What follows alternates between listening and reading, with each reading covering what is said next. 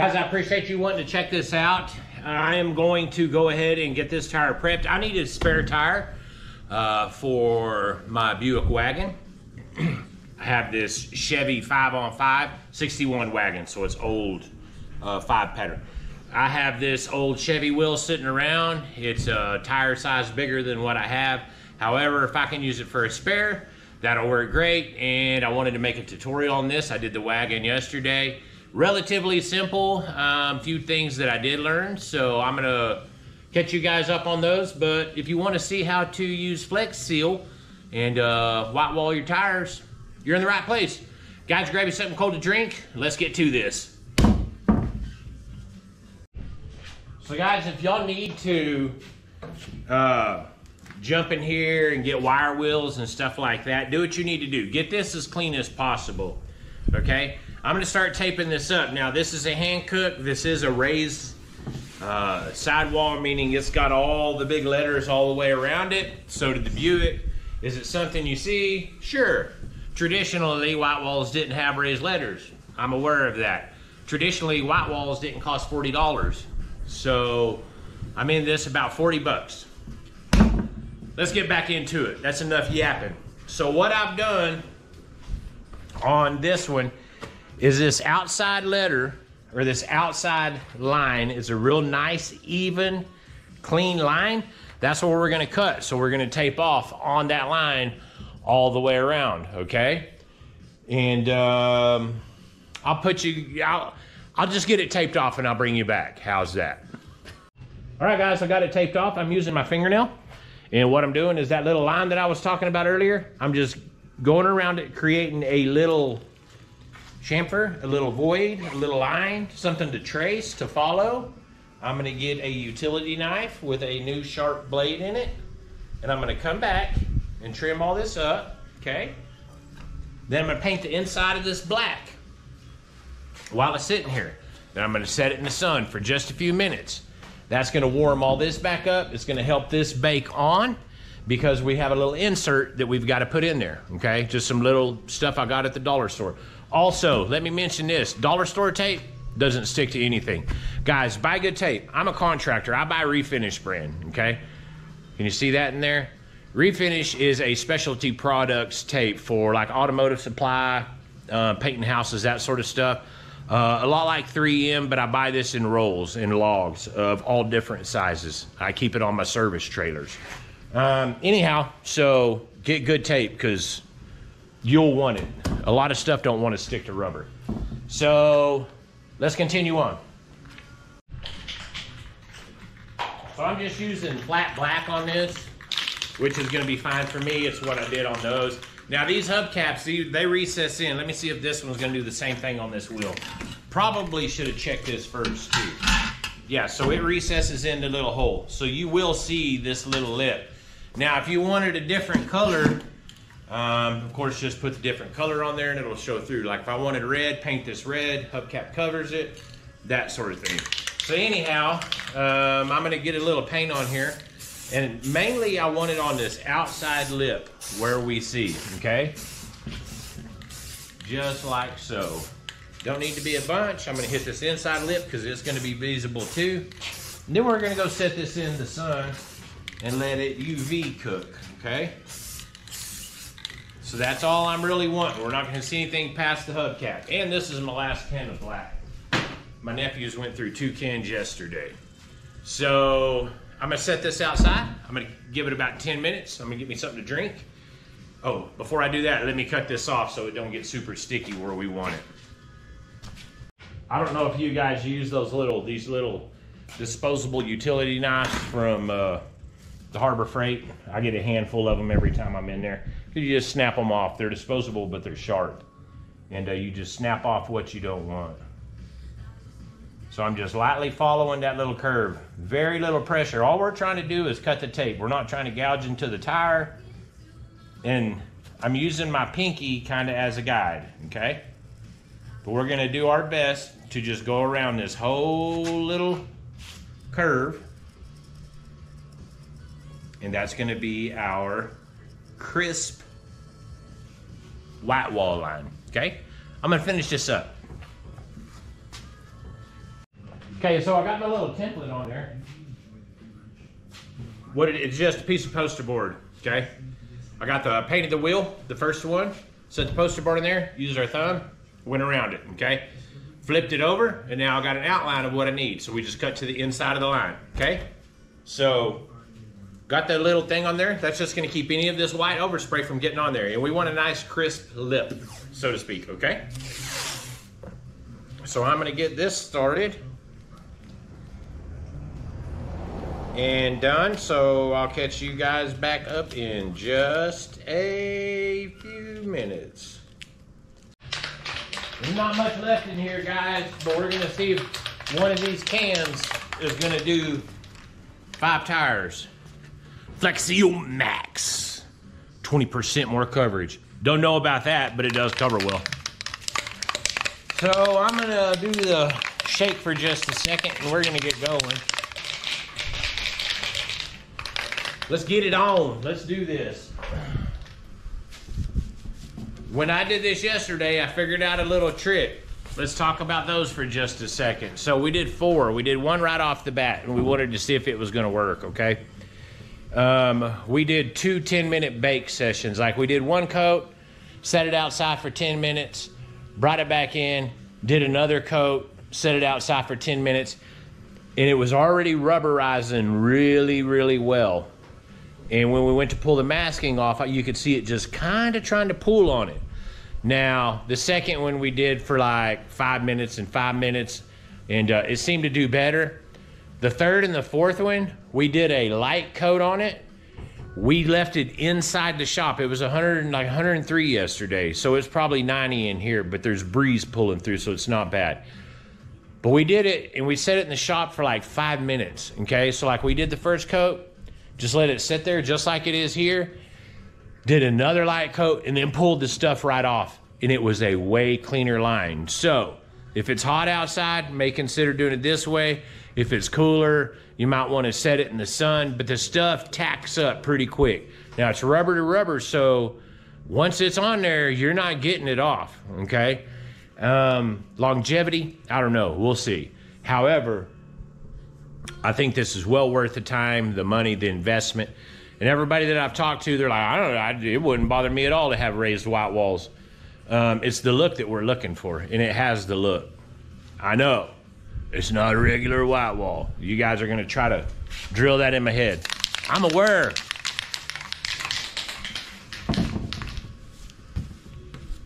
And I'll do it again, boss. Let me get all the crunchies off the tip from yesterday. We want to start this off with a good clean slate. All right, let's see if that's gonna squirt like it did yesterday. Yep. All right, you guys ready? This is all it takes. Let's let's get this done. I'm gonna hit it from one way. I'm gonna go to the outside. So I'm hitting it coming over this way, and I'm hitting it coming over this way. Okay.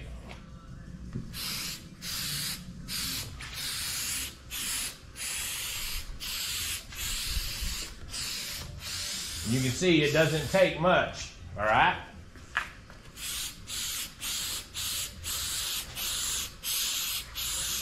And I hope this, the rest of this little can does this one tire. It feels like it's going to. Matter of fact, I'm pretty certain that we're golden. This stuff was like just under 20 bucks. I got this and some flat black and some other stuff yesterday.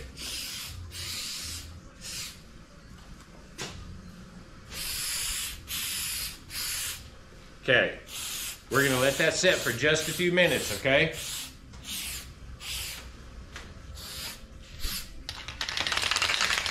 Let's talk about why you should be subscribed to this channel. We're gonna give that just a second. Here's why. There's really no good reason. Um, I'm not a fab shop. I am not a mechanic. I am a guy, a car enthusiast, have been one for years and I've always built cool stuff. And I try to do stuff on a budget. I try to keep it fun, friendly, and clean for the entire family. There is some adult humor in here. We do do shenanigans, and we do them well. And we like cool junk. So whether it's art, cars, some beat up motorcycle, a cool wrecker, I don't care. I like automobiles. I am in it for that. Um, and two, I'm trying to build a little platform. You know, cheer a guy on, pat him on the back, give it a like, leave a comment, man. If this helps you out, I think this is cool. So it looks like it's losing its sheen, okay? I'm gonna go ahead and put another coat on the outside. We're gonna give it a second, just because I'm starting to see little a little bit of black in here, okay?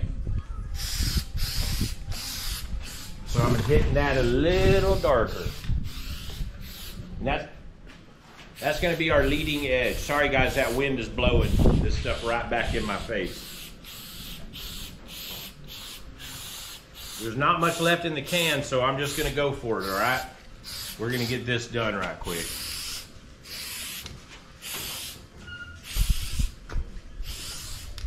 Now there is a little black ring in here that I see, and I think it's from not being completely aired up, which is fine. But I'm gonna be willing to say this will make us one fine spare tire.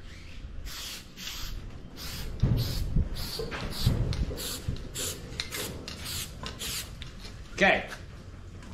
I'm gonna go set this in the sun.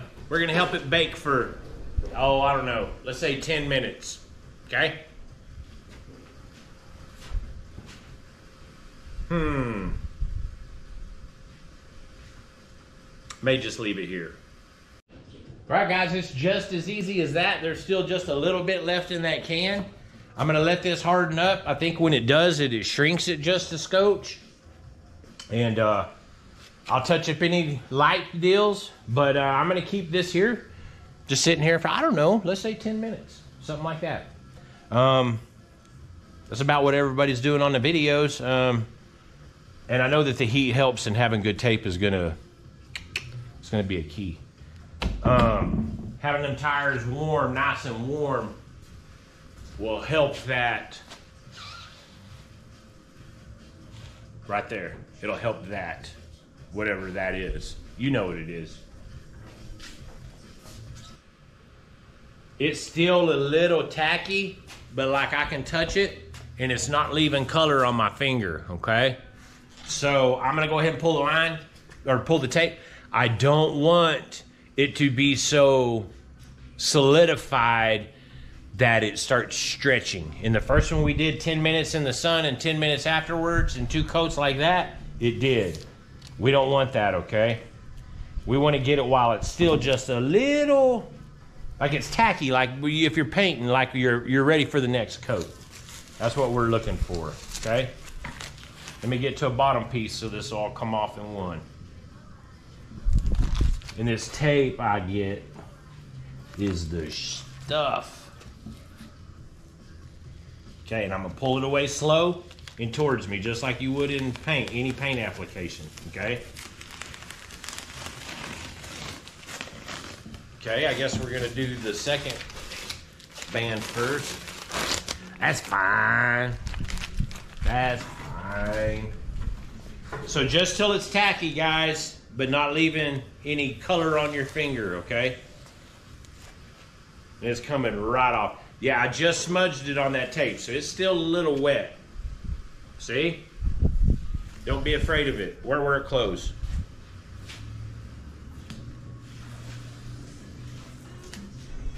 I'm glad I heard about this.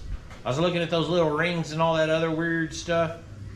And uh, until I bust off this engine, I'm not willing to spend a lot of money. Because if I do, got to get this nail head back on the road, they're expensive. Like, you think it's like Mopar. You're just like, goodness. So, but without that bad starter line and all the electrical problems. I could go on. All right, guys, that's that. Now, hold your horses. Let me figure out a way to get this out without getting stuff all over me. We're going to get that little cone out of there. Let's do it this way. Let me just cut that and see if I can flip up under it. There we go. We'll pull this all out in one. Hopefully.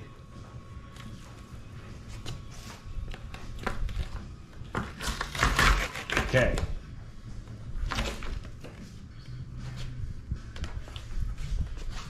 So that's hitting the trash can. Let me get this last little bit off. Remember guys, it's still wet. We don't want it to dry up on us. We don't want to pull anything off. And uh, it be in a state of, you know what I mean. You want it to still be tacky. And guys, just like that, we have a nice clean spare tire. Now, one thing I didn't think of, this isn't aired all the way up. Once I put air in it, is it gonna stretch those seams open and bust open? I bet it will. Just thought of that. Great thinking. Dang it. All right, guys, so y'all seen how that was done. This just knocks in there. Let me see if I can do it with the side of my fist without hurting myself. And I am old, so stuff like that does hurt. But before I do that, I'm gonna go ahead and air it up. I'm not real sure. And I didn't think about this, but this may have shot myself in the foot, uh, not having it fully aired up before.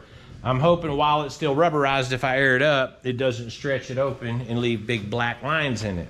So, make sure your tire is fully aired up. I'd be willing to bet you that's probably a very important step that I skipped. So, I'll tell you in a second.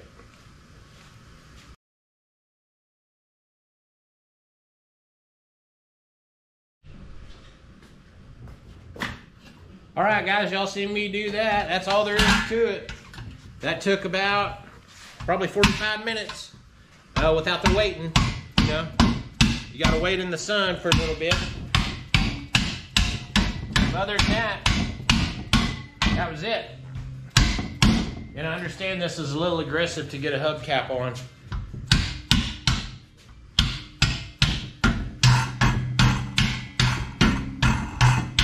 Sometimes that's what you got to do. Hey, but wait, there's more. You guys didn't think I was going to let y'all go without showing you the wagon, did you? Uh, if you're part of uh, the subscription, guys, you've seen this.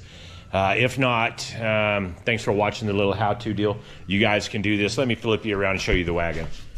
So 1961 Buick LeSabre station wagon, extremely complete. It was a field find, been sitting for decades. That's the wheel you just seen me do. Just wanted a spare. So anyhow, bam, bam, and bam. You guys feel free to jump on the channel. Take a look at some of the videos if you feel that there's value in it and uh, you found a little humor in it, whatever it is.